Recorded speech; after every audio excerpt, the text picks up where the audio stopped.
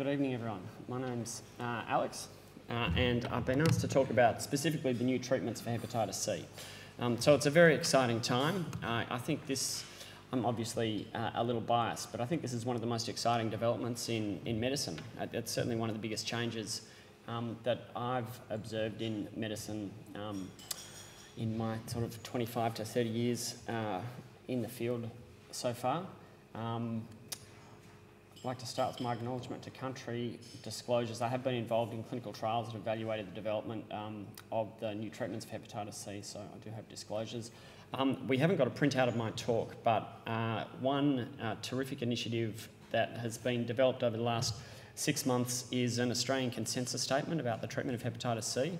This was developed by the Gastroenterology Society in partnership with ASHM, ASID, the College of General Practitioners, um, the Australasian Hepatology Association as well as Hepatitis Australia. And it's been developed specifically to help um, primary care doctors, general practitioners who are new to the area to have an accessible guidelines for using these new drugs for assessing and treating hepatitis C. It's available online. Um, if you go to um, the gastroenterology website, uh, which is www.gisa.org.au, um, it's um, available as a PDF that you can download or print out. Um, there will be a summary of this statement published in the MJA, MJA next month. Um, so those of you who are um, uh, who receive the MJA will receive a summary statement of this. Um, it also there's also on the website uh, a two-page summary cheat sheet for assessing and for treating hepatitis C. Um, so this is the evolution of hepatitis C. In the space of 25 years, we've gone from the identification um, uh, the first identification of the virus to being able to cure almost every patient with hepatitis C, which, which I said, as I say, is a pretty dramatic um, progression. Um, you'll all be familiar with the treatment uh, up until last year that involved interferon. Um, you can see that there was a stepwise progression in the different interferon-based strategies from a 6% cure rate um, in the early days back in the early 90s through to 70% overall cure rates um, up until last year with the use of the first direct-acting antivirals that were used in combination with peg interferon and ribavirin. And now we have um, interferon-free regimens licensed for all patients with genotypes 1, 2 and 3 hepatitis C, which is roughly 90% of hepatitis C in Australia, um, that have cure rates of 95% plus for most patients. Um, so this, this is a complicated cartoon, but it just summarises the life cycle of hepatitis C. Um, and what, what it really focuses on is that there are a number of steps in the life cycle of hepatitis B that can be targeted with direct acting antiviral agents, which is what's led to the development of these combination regimens. So key steps uh, um, in the life cycle are the NS3 uh, protease, which chops up the virus into the different um, machineries um, that are used for replication, and there are protease inhibitors that target specifically the NS3 protease. Um, there's the NS5B polymerase, so this is what um, is responsible for reverse replication and the replication itself. Um, there are nucleotide as well as non-nucleotide inhibitors of the NS5B polymerase. Uh, and then there are NS5A inhibitors, um, and it's combinations of two or three drugs from these classes that are used in the, the treatment regimens that are now available. Um, so Joe's already put up this slide, a slightly different colour scheme, but most hepatitis C in Australia is genotype 1. Um, Genotype 1A, um, which is relevant to, to particularly one of the treatment regimens, is about two thirds of hepatitis C, um, and genotype 1B is about one third. Um, the cell culture models that have been used to develop these drugs use a genotype 1B background, so genotype 1B is the easiest to cure. Genotype 1A is almost as easy to cure. Um, and then uh, genotype 3 is about 35 to 40% of hepatitis C in Australia. Um, it's, it's more common in people who inject drugs, so in particularly um, people who've recently injected drugs, there is a higher percentage of genotype 3, and probably just over half of that population have genotype 3 infection. Then about 5% of our hepatitis C is genotype 2, and then the small numbers of genotype 4 hepatitis C, particularly in people of Egyptian background, and then genotype 6 hepatitis C, particularly in people of Vietnamese background. Um, these are the DAAs that are now approved in Australia. Um, so uh, at the top of the slide are interferon containing regimens. So for a small number of people, the treatment, the approved treatment is still interferon based, and that's for people with genotypes 4, 5, and 6 hepatitis C, so less than 5% of the patient pool. But for those patients, they still require um, interferon-based treatment. That will change in about 12 months. The next round of, um, uh, of drugs that are coming through are active against genotype 4 and genotype 6.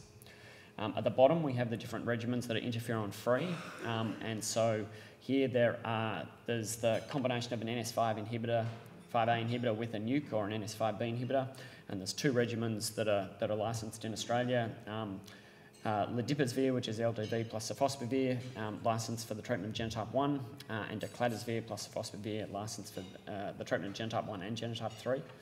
Um, the, uh, the four drug um, combination, which is uh, um, a drug regimen um, uh, made by the company AbbVie, and it's colloquially known as the 3D regimen because there are three different direct-acting antivirals, um, is licensed for Gen. Well, it, it's TGA uh, approved. It will be PBS licensed as of May the 1st for the treatment of genotype 1. And then the combination of a nuke plus ribavirin is also licensed for genotype 2 as well as genotype 3. Um, this is taken from the consensus statement, the national consensus statement, and just summarises the different regimens um, uh, for the treatment on this slide of genotype 1. And you can see that the treatment regimens do differ according to whether a person has cirrhosis or doesn't have cirrhosis. Um, and in some instances do differ according to whether the person is treatment naive or has previously been treated for hepatitis C. I don't think you need to um, remember the specifics, you just need to know that there are differences and to have the reference guide to look back at. Um, for uh, primary care-based treatment, we recommend that that's for people with no cirrhosis, and for most people with no cirrhosis, treatment duration is 12 weeks. So remember 12 weeks of treatment duration um, if you want to remember a duration. Uh, the regimens approved for genotype 1 are sofosbuvir plus ledipasvir, and this will be the most common regimen used. Um, uh, it's effective against both genotype 1A and genotype 1B. Sofosbuvir plus daclatasvir um, plus or minus ribavirin is also uh, approved for genotype 1. It requires two different prescriptions um, and two different tablets, whereas sofosbuvir plus ledipasvir is co-formulated as a single pill. And then the third regimen um, that uh, is about to be PBS listed is the 3D regimen, which is a combination of paritaprevir, ombitasvir um, and dasabuvir, a protease inhibitor, an NS5A inhibitor and an NS5B inhibitor. Um, the, this regimen differs uh, according to whether a patient has genotype 1A or genotype 1B infection, and with genotype 1A infection, patients do still need ribavirin, which is associated with some, some side effects. Um, for uh, genotypes 2 to 6, these are the licensed treatment regimens. So for genotype 2, it's sofosbuvir plus ribavirin for 12 weeks. Genotype 3, um, the preferred regimen, there are three different regimens licensed for genotype 3. The preferred regimen for people with no cirrhosis is the combination of sofosbuvir plus daclatasvir, which is a 12-week regimen. But sofosbuvir plus ribavirin is also approved. Uh, it requires 24 weeks of treatment. Um, uh, and then there is still into the combination of sofosbuvir, sofosbuvir plus interferon plus ribavirin, um, which is licensed for genotype 3 as well as genotypes 4, 5 and 6. We will use that for a very, very small number of genotype 3 patients and probably only as a salvage treatment regimen in people who fail a first-line DAA regimen. I'm just going to go through a little bit of the clinical trial data um, before finishing with just a summary of the nuts and bolts of, of what you should do when uh, you're working a patient up for treatment. And these slides are all a little bit boring. Um, but uh, sofosbuvir plus ledipasvir, this is the combination of sofosbuvir and NS5B um, inhibitor. It's the only direct nucleotide inhibitor that's available at the moment for the treatment of hepatitis C, and it's really the backbone of most treatments. Um, uh, Harvoni is the combination of sofosbuvir plus ledipasvir, which is an NS5A inhibitor. Um, and uh, this, these two pills have been co-formulated, so it's a one pill, once a day medication. Um, and it was released, uh, on, it was made available on the PBS on March the 1st. Uh, the, this is the phase three, these are the two phase three trials in treatment naive people that evaluated um, this combination, and these studies looked at in ION 1, uh, the combination of sofosbuvir plus ledipasvir for 12 or 24 weeks, plus or minus ribavirin. Um, and then in people with no cirrhosis, uh, there was a second study, ION 3, that looked at 8 weeks treatment duration versus 12 weeks treatment duration, um, plus or minus ribavirin. So ION 1, um, you can see that the SVR12 rates, and, and sorry, I should say SVR12 is what we now refer to as a cure. So the cure rates in this study were um, 97 to 99% um, in every treatment arm. So clearly 12 weeks of treatment with no ribavirin is enough for, um, for genotype 1 patients. 20% of people in this study were, had cirrhosis, and there was no difference in the response rates according to whether cirrhosis was present or not. So that's just summarised in this slide. You can see that the, the um, cure rates were similar in people with cirrhosis and no cirrhosis. ION 3 was the study that looked at shorter treatment duration, um, and in this study, uh, using eight weeks of um, uh, plus ledipasvir, very high cure rates, um, regardless of whether ribavirin was used or not, um, and similar to the 12-week treatment regimen. Um, a subsequent sub-analysis of this study um, identified that it was patients with a low vi lower viral load who were um, who were the subpopulation who were really had exactly the same treatment uh, success rate with eight weeks versus 12 weeks. And so this is in the label for people who are treatment naive, who don't have cirrhosis. If you want to use eight weeks of treatment, um, a viral load of less than 6 million identifies those patients who can be treated for only eight weeks. I should say that most of us would, uh, un unless a patient, uh, you have particular concerns about a patient um, benefiting from short duration treatment, it's probably better just to treat for 12 weeks and um, absolutely maximise the, the cure rate. Um, uh, a similar study looked at uh, treatment experienced patients, so this will, uh, uh, I suspect, only be a very small minority of patients that you would be seeing, but these are patients who've previously been treated with interferon. Uh, they had the same approach, 12 versus 24 weeks of treatment, plus or minus ribavirin. Again, very high cure rates um, with 12 or 24 weeks of treatment.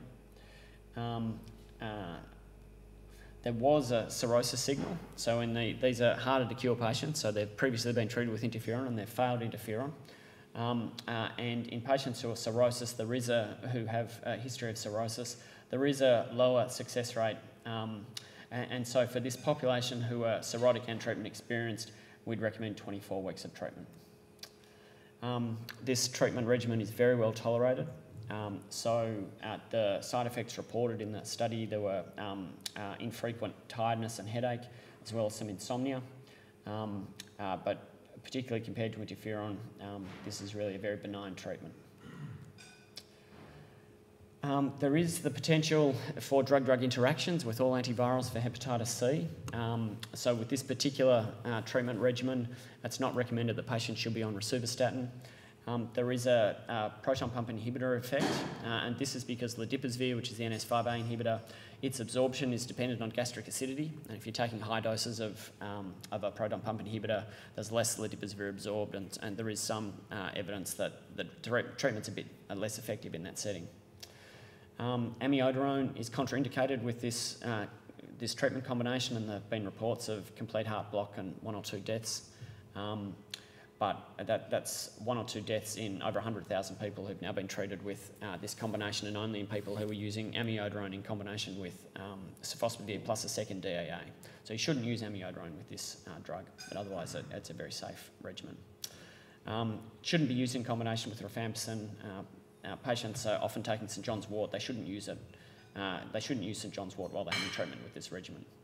But there's no significant interactions with the contraceptive pill, with most HIV antiretrovirals, with simple antacids, with opiates. So for patients on opiate substitution therapy, this is a suitable regimen.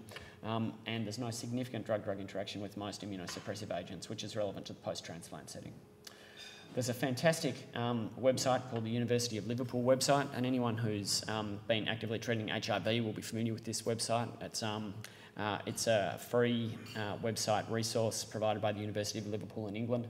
Um, there's a, a, free app that you can download onto your smartphone that doesn't contain every drug, but it contains most drugs as well as all the hepatitis C antivirals. Uh, and so this is the label for, um, for Harvoni or sofosbuvir plus ledipasvir in Australia. Um, so genotype 1A and 1B. Uh, 12 weeks for all uh, no, patients with no cirrhosis, and you can consider shorter duration treatment um, in treatment naive people with a low viral load. Um, 12 weeks for patients with cirrhosis, and then patients with cirrhosis who previously failed interferon, that's 24 weeks of treatment. Um, the only other thing to say about uh, in particular is that it's renally excreted, as, as are most nucleotide inhibitors, uh, and so it's not recommended in people who have significant renal impairment, and that's significant renal impairment being an EGFR of less than 30. Um, the second uh, treatment regimen that will be used for genotype 1 hepatitis C is a drug combination called Viekira Pak. So this is a combination of paritaprevir, which is a protease inhibitor, and it is a ritonavir boosted protease inhibitor, so this has implications for drug-drug interactions. Um, ombitasvir, an NS5A inhibitor, and dasabuvir, which is an uh, NS5B polymerase inhibitor. So this uh, is not a one pill once a day regimen. Um, it's uh, one pill uh, twice a day, uh, and one uh, and then one pill, then two doses of one pill in the morning. Um, and then for patients with genotype 1A, it involves ribavirin. This is a complicated slide. Might skip through, but uh, again, it's 12 weeks of treatment for most patients, and the cure rates are 95% and above. Um, the key with using this regimen is that for genotype 1A patients, ribavirin is required, which, and the reality is that the requirement for ribavirin means that we won't use this regimen for genotype 1A because, because it's an alternative that doesn't involve ribavirin. Ribavirin causes fatigue, it causes anemia, and it's teratogenic. So if you had a treatment regimen that was similarly effective, you wouldn't use the ribavirin regimen. And, and, and so this regimen won't be um, very popular for genotype 1A, but it is a good treatment regimen for genotype 1B with cure rates of 98 to 100% in all the clinical trials.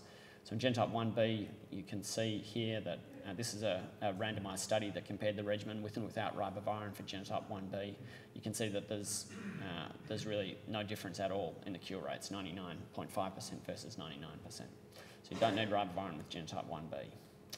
Um, I will skip through to um, the side effects. Uh, so this regimen probably has slightly more side effects. It's a, it's a well-tolerated regimen, but um, just has a few more side effects than, um, than sofosbuvir plus ledipasvir.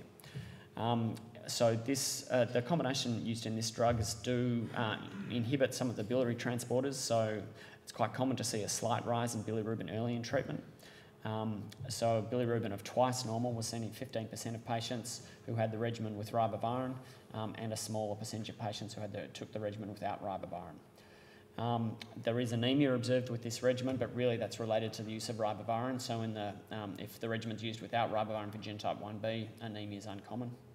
Um, there is uh, a very, very rare ALT elevation seen, or seen in 1% of patients more common uh, in women who are taking um, ethinyl estradiol. And so this ethinyl estradiol um, contraceptive should not be used um, when treating with this regimen. The other the other issue with this regimen is that it's not suitable for people with very advanced liver disease because there's a pro, because it involves a protease inhibitor. These are all cleared by the liver, and in people whose livers don't work well, you get very high levels of drug, and it can um, it can uh, cause liver toxicity but that's really only in people with advanced cirrhosis or decompensated cirrhosis. So, so shouldn't be people that you'll be seeing in your clinics. Um, uh, drug-drug interactions are an issue for all drugs. They're a little more of an issue for this uh, regimen because there are three drugs and then there's also uh, ritonavir. Um, there's a long list of drug interactions uh, and it's important to check uh, the University of Liverpool website before starting anyone on treatment. Uh, so this is the Australian label for uh, the AbbVie regimen, the 3D regimen. So for genotype 1A, it's uh, 12 weeks plus ribavirin, and the ribavirin, as I said, is an issue with, with some toxicity. But for genotype 1B, um, whilst the label involves ribavirin, clearly the data now suggests, and it's data sort of subsequent to the label they applied for, the data suggests that you don't need ribavirin. So the recommended treatment regimen in the consensus statement is 12 weeks no ribavirin. Um, and for these patients, it's a very effective regimen. What about genotype 3? Well, as discussed, there are three different regimens that are, um, that are approved for genotype 3. Um, this slide summarises uh, the three different clinical trials. So starting at the bottom, sofosbuvir plus daclatasvir, which would be our preferred regimen for patients with no cirrhosis in genotype 3, a 12-week regimen. Um, then, uh, then there's uh, the study that evaluated triple therapy with sofosbuvir plus pegylated interferon and ribavirin, and then there's the combination of sofosbuvir plus ribavirin, and all of these regimens are now approved in Australia. So firstly, the combination of sofosbuvir plus daclatasvir. Uh, so this study uh, was a single-arm study, um, and the overall cure rates were 96% for genotype 3 patients, 12 weeks of treatment. But what was observed here was that the, the cure rates are very good in people with no cirrhosis, so this is the dark purple bars, But in people with cirrhosis, 12 weeks of sofosbuvir plus daclatasvir is suboptimal, and you can see that there's a significant difference in the cure rates in people with cirrhosis versus no cirrhosis. So in treatment-naive people with no cirrhosis, the cure rates are 97%, uh, whereas in people with cirrhosis, cure rates are 58%. So subsequent data um, uh, using, the, using two different approaches to prolong treatment from 12 to 24 weeks or to uh, plus or minus ribavirin has shown that uh, doubling the treatment duration from 12 to 24 weeks is associated with a significant step up in cure rates in people with cirrhosis. So you can see that the combination of sofosbuvir plus daclatasvir in the setting of cirrhosis has an 86% cure rate. So this is, this is getting to the 90% plus threshold that we really expect now with treatment of hepatitis C. Um, uh, plus ribavirin for 24 weeks. Uh, this, is, this is a good treatment, works well for non-cirrhotic people, but it's 24 weeks of treatment versus 12 weeks of treatment. So we would expect similar cure rates with this combination for 24 weeks compared to sofosbuvir plus daclatasvir for 12 weeks. I think most patients would prefer three months of treatment versus six months of treatment. Um, it's less effective for people who are cirrhotic, uh, particularly if they're treatment experienced. Um, and so this is where, as Joe was alluding to earlier, the treatment experienced cirrhotic genotype 3 patients are now the hardest to cure group where um, uh, 60 to uh, 60 to 70% cure rates are the, um, the, the highest response rates we see with, um, with this regimen. Um, what about sofosbuvir plus peg interferon plus ribavirin? Well, the only reason this regimen uh, is approved is because it's a 12-week regimen and it, it, works well. So despite the toxicity, it does work well. So you can see in this hardest to cure group of um, treatment-experienced cirrhotics, in this study, the highest, um, which randomised sofosbuvir plus ribavirin for 24 weeks versus the triple therapy regimen for 12 weeks, the best results were seen with interferon. So we won't use this as first-line treatment. We'll use sofosbuvir plus daclatasvir, but in people who fail sofosbuvir plus daclatasvir, this, this does provide a, a salvage treatment option. Um, despite the side effects of interferon treatment, only one, there was only a 1% dropout in the, in the interferon-based treatment arm in this study. So whilst interferon has side effects, most people can tolerate three months of interferon. So again, there are three different regimens um, for the treatment of genotype 3. Sofosbuvir plus daclatasvir for 12 weeks for no cirrhosis or 24 weeks in people with cirrhosis um, is the preferred first-line treatment regimen. It's the combination of sofosbuvir plus ribavirin is also available, but it's a 24 treatment regimen for, uh, for everyone, for all patients. Um, and then sofosbuvir plus peg interferon and ribavirin is also available. It's a 12-week treatment regimen, but it has interferon-associated side effects. And so it will be a second line or a salvage treatment regimen. Uh, lastly, genotype 2. Um, uh, so the, the preferred treatment regimen for genotype 2 hepatitis C is 12 weeks, and this is enough for most patients. So cure rates of 90 to 95% in all patient groups with 12 weeks of treatment. So that's the, uh, that's the Australian label, 12 weeks sofosbuvir plus ribavirin. So, to summarise, um, these are, so these summarise the cure rates for the different treatment regimens um, in people with no cirrhosis. So we have ledipasvir plus sofosbuvir, we have the AbbVie 3D regimen for genotype 1A that involves ribavirin and for genotype 1B, and you can see that across the board for genotype 1 in people with no cirrhosis, we should be curing 95% plus of patients.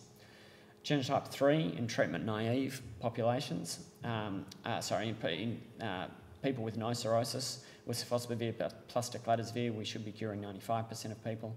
And in genotype 2, with just 12 weeks of sofosbuvir plus ribavirin, 91 to 97% cure rates. Um, this is the PBS uh, indication for prescription. So patients must be aged, so at the moment treatment's for adults only. Patients must be 18 years or older. Um, Patients must be treated by a gastroenterologist, hepatologist, or infectious diseases physician with experience in treating hepatitis C or by another doctor in consultation with a gastroenterologist, hepatologist, or infectious disease physician. Um, and the minimum information required are the hepatitis C genotype, the patient's cirrhosis status, um, uh, and then it's required to be documented in the patient's uh, medical records that there's evidence of chronic hepatitis C infection, which is interpreted really as just repeated HCV RNA positivity. Uh, and it's important to document the uh, hepatitis C genotype in the patient's uh, treatment record. So a very bare bones patient workup Um, I think this is the absolute minimum. Eh, When you go through the consensus statement, there is more detail about the various different steps, but this is the absolute minimum that's required. Hepatitis C genotype. Hepatitis C viral load if you're thinking about um, short duration treatment in people with no cirrhosis.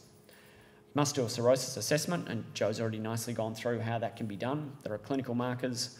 FibroScan is the preferred modality, but if it's going to take, if there's going to be some delay to accessing um, uh, FibroScan, then there are other uh, modalities that, that can be used, such as APRI, which is a, a um, serum marker based on serum AST as well as platelet count, so it's free and it's available to everyone.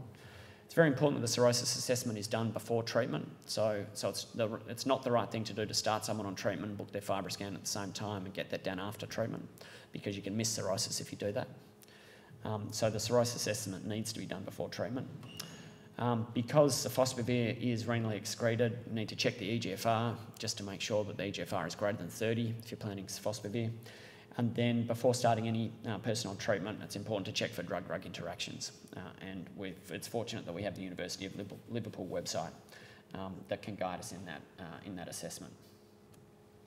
So this is the, this is the cheat sheet um, from the uh, consensus statement. Um, uh, and I was just wanting to highlight that we'd recommend that it's people with no cirrhosis that should be treated in the community, and we'd still recommend that people with cirrhosis be referred uh, to the specialist centres for management of the hepatitis C as well as management of their liver disease. Um, if the FibroScan is greater than 12.5, then the patient should be managed as if they have cirrhosis. The APRI score, um, and this is a, there's a mathematical formula, but there is a, a, website again that can do it for you as long as you have the AST, you know what the upper limit of normal in your laboratory is, and you know what the platelet count is. And the key threshold is an APRI of one. So an APRI of less than one, patient doesn't have cirrhosis, um, and uh, and you can treat them as though they don't have psoriasis. This in consultation, I'm sure this will come up in the question and answer um, session, but uh, it's, it's still evolving, I guess, how this in consultation process should work. How we want it to work at St Vincent's is that we've, um, the ALA have developed a consultation um, two-page pro forma, uh, and what we'd like uh, people we're working with to do is to complete this pro forma, fax it to us, and we'll commit within a, a week's period to responding to that request for consultation with just an approval that um, uh, that we agree that the, um, the, assessment indicates that the treatment regimen is appropriate and you should go ahead. Um, I think this will be a better system than phone calls and emails that, um, that may be missed or may, may take a while to respond to. So to conclude, um, hepatitis C infection is now curable and the cure is associated with improvement in quality of life, loss of infectivity and prevention of transmission, as well as regression of cirrhosis, lower risk of liver failure and liver cancer, and reduction in mortality. And so every Australian now who's living with hepatitis C, hepatitis C should be considered for treatment. Um, and then one final plug for the, the consensus statement. Um, and this is, a, this is the two-page cheat sheet that can be downloaded from the website that, um, that takes you through the assessment of patients as well as the on-treatment monitoring and post-treatment follow-up and then a summary of the different treatment regimens, um, what regimen is used for which genotype as well as the appropriate treatment duration. Okay, thanks.